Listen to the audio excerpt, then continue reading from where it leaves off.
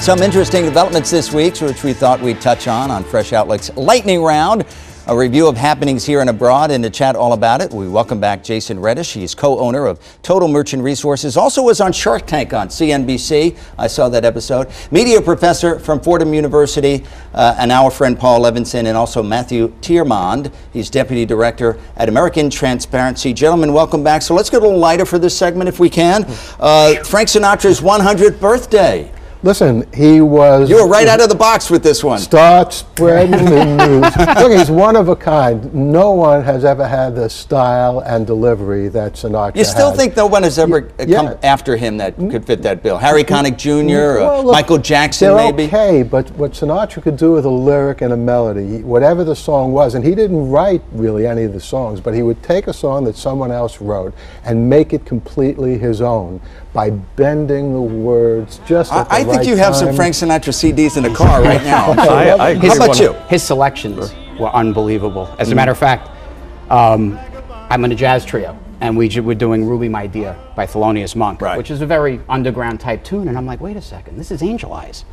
And that's when I realized Sinatra was into Thelonious Monk. I mean, for somebody to be that into, you know, that tuned in to, to the jazz scene, he's definitely one of the best jazz singers of all time. Male-wise, I mean, Ella Fitzgerald is probably on Yeah. the female side, I would say. You Sure. know, the stuff she did with Louis Armstrong was just unbelievable. But Sinatra definitely should But get. also you have his machismo as well. You know, every guy wanted to be uh, Frank and Sinatra. he was broke. the Ra- yeah. He was broke. during the Rat Pack. Well, year? A- A- Ava Gardner basically re- rejuvenated his career with uh, Pal Joey. Plus- yeah. plus- Yeah. You, you know From here to people eternity. Don't, don't realize about Sinatra, there's a technological component. He was really the first vocal artist who was able to benefit from editing in the audio production.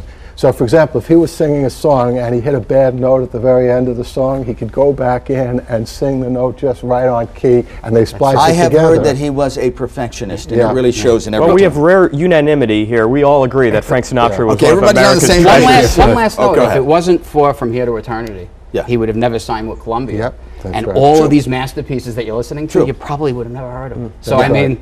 Unbelievable. Good, good irony behind that. Let's talk about the Golden Globe Awards. My uh, smartphone went off cr- like crazy. I, forgot it was Wednesday or Thursday with all the nominees. Uh, Best Picture, we have Carol. It's a mid 1950s story about uh, a young woman who falls for an older woman. It's the first really comedy that, I should say, um, drama that broaches the subject of. Uh, of homosexuality with regard to women. Uh, there's also Mad Max Fury Road, which is a sci fi thriller.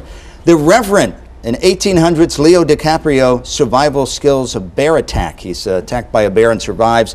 Room is a mother-son held captive outside world, and uh, also Spotlight, which is that great movie about uh, the Boston Globe journalist uh, when they uncovered pre- police uh, priest molesting children and the investigation that followed. Anybody have a favorite here? You've, you've said you saw a couple of these. I, yeah, I think, I mean, the LGBA community is huge when it comes to the Golden Globes in Hollywood. So you think Carol is the- I think Carol, I'd, I'd put all my money on that. Well, one. Mad Max Fury Road was absolutely atrocious. I saw it on plane, a plane to And why is it a Warsaw, Golden Globe and? I, it just it tells you that there's a race Yeah. to the bottom in Hollywood these Yeah, yeah. days. There's not a lot of good but stuff. what are you being really trying to say, Matthew? Uh, we, we need new and better, more uh, creative movies. Paul? I think Spotlight is the best of I- I would agree with you. Yeah, but I think Mad Max was very disappointing because the original Mad Max movies were Thought-provoking, excellent. really thought-provoking. Yeah, and I'm, you know, a science fiction author. I'm a science fiction fan. I was president of the Science Fiction Writers of America for a. Right. couple of years.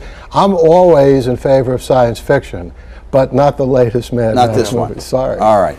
Uh, best motion picture, comedy, or musical. There's a there's a bunch here that don't make sense. The Big Short. I don't know if it's a comedy or a musical. It's certainly not a musical, and that's uh, all about the housing and credit bubble in the uh, early 2000s. Joy, which uh, stars uh, Jennifer Lawrence, and she is uh, portraying Joy Mangano, who is the big HSN QVC uh, person. Uh, the Martian. Uh, again, I don't know if that's a comedy or not- musical. it's not a comedy. And I don't know why it's in that misallocated. category. That's the one about Matt Damon being left on uh, Mars. If only Uh, it were real. Spy, Melissa McCarthy, a desk deputy or desk duty held uh, helps uh, Jude Law's character in this particular movie, and Trainwreck, which is certainly a comedy starring Amy Schumer. Any of those uh, jump at you? The Big Short, uh, Joy, The Martian Spy, or Trainwreck? Well, I don't know who uh, finds, as you say, Yeah, the I don't know how The it Big Short that is, uh, it's, uh, I- it couldn't even be termed a tragic comedy, no matter how they treat it. Uh, I'm excited to see it because Very I, I, I love, though, right? yeah, a little bit. I love Michael Lewis. This is adapted from his book. The book was excellent, Mm-hmm. uh, so I'd like to see how they treat it. Uh, I know that a lot of the movies that they've uh, created out of the Wall Street experience from the last 10, 15 years have been pretty bad. So I have a little I've bit heard of this one really that this one- explains it to Mr. and Mrs. Yeah. John Q. Public because Yeah. it is complicated. It is, And you yeah. were in the thick of it, That- that's Jay- that's the worst part. The informational lines. Yeah. When Yeah. it, I understand, and Spielberg's brilliant at doing that. Yeah. Right? When when he'll have a school teacher explaining it to a Yeah. classroom, Right, right. and he'll use that medium. Right. Too often they sell narratives, and that's what I'm worried about Yeah, here. Is like they're the gonna, Too Big to Fail they're on HBO, Yes, exactly. like, they're gonna they're gonna yeah. put it. They're gonna editorialize subliminally what the causes were, and they're gonna. I already can see it. Even though the book didn't do this, they're gonna probably lay all the blame on the uh, the evil banks without the government intervention mechanism that allowed Well, the evil getting back banks to the movie uh, for a second, how do you explain involved. an ETF to Mr. and Mrs. Jack Q. I think that's pretty uh, easy. It's yeah. a whole bunch of stocks Well, and one I'm told going to it- say. I, uh, I think The Martian is an important movie. As a don't know- comedy or a musical? I I don't know. It's prophecy. It's prophecy. Yeah, well, because Yeah. listen, it's, it's what it is, in my view, that makes us different from any other species on Earth. Namely, that we can actually get off this And the curiosity of what's yeah, out there. get out And into the cosmos. All right, we, we just have a minute or so left. Time magazine has named uh, German uh, leader Angela Merkel as Person of the Year. Uh, some people said the Pope uh, should have gotten it. There were some other nominees there. Angela Merkel, good choice. Hor- uh, horrible. Uh, I hon- honestly think that Person of the Year should have been, and neither of them for good reasons, Trump or Putin. Really? Uh, I think Merkel has uh, just continued policies over the last five years, culminating this year and creating more problems for Europe. But she did welcome the refugees. that. I Welcome. mean, she imported cheap labor. if you saw the, the the list, I mean, Baghdadi was on that list, which I, I, I always like the list because it's you know Hitler was Hitler and Yeah. Stalin Yeah. were on Stalin the was list. not the best days. person of the year, But it's the person with the most yeah, impact. But you know, Trump would have been absurd again because all he does is talk. Right. What But has he the man changed the narrative accomplished? in this country? Well, so far many big. people would say that hot he's a successful businessman. Okay, but he hasn't done such He's- great And- business. but he wouldn't win the award year. for that. It would be for changing Right. the political discourse Right. in such a dramatic way, which I think is a very, very big deal. Merkel did nothing this year uh, on a year-over-year basis that was differentiated from anything she's done the last five years, except expanded bad policy that's destroying Europe. I'm a European citizen as well. I'm there on the ground, and it is not in good shape, and it is very largely to blame from Merkel, uh, the European Parliament, and European Commission, and the ECB. All I right. would have the Pope. We run out of time. But, gentlemen, thank you very much. We appreciate it. And I'm Frank Cipolla. We'll see you next time on Fresh Outlook.